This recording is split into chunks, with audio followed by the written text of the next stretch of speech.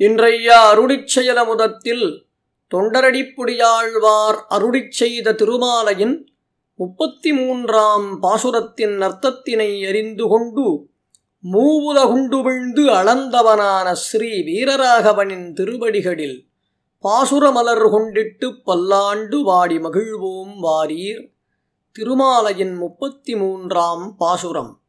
மெய்யெல்லாம் போகவிட்டு விரிகுடலாரில் பட்டு பொய்யெல்லாம் புதிந்து கொண்டா போழ்கனேன் வந்து நின்றேன். ஐயனே அரங்கனே உன் அருடென்னும் ஆசைதன்னால் பொய்யனேன் வந்து நின்றேன். பொய்யனேன் பொய்யனேனே. பாசுர விளக்கம்.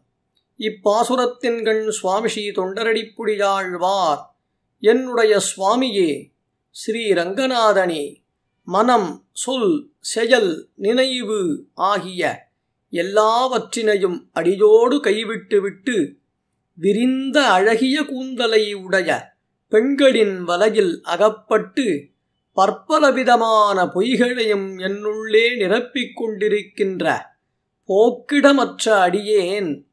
தேவரீர் செய்யும் கிருபையின் மீது உள்ள ஆசையினால் தேவரீரிடம் வந்து நின்றேன்.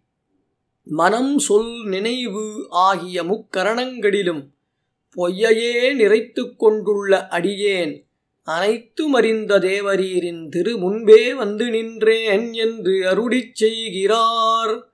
ஆழ்வாராண்டாள் எம்பெருமானாறு தேசிகன் ஸ்ரீமதழகிய சிங்கர் திருவடிகளே சரணம் ஆழ்வார்க்கடியான் பேரங்கியூர் பா ஸ்ரீனிவாச ராகவன் திருஜவ்வுள்.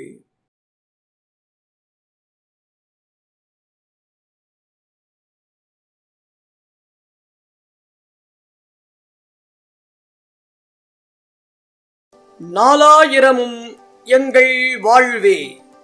நாலாயிர திவ்ய பிரபந்தத்தினை ஆன்லைன் கிளாஸஸ் மூலமாக சந்தை கிரமத்தில் குருகுல முறையில் உங்களின் இல்லங்களிலிருந்தே கற்றுத் தெளிய இன்றே இணைவீர். யூடியூப் திவ்ய பிரபந்த பாடசாலை. சப்ஸ்கிரைப் நவ் பெல் பட்டனை பிரஸ் செய்து அதன் அருகில் தோன்றும் மெனுவில் ஆல் என்பதை கிளிக் செய்யுங்கள். திவ்ய பிரபந்த பாடசாலை இது நம்முடைய பகுதி. It's our channel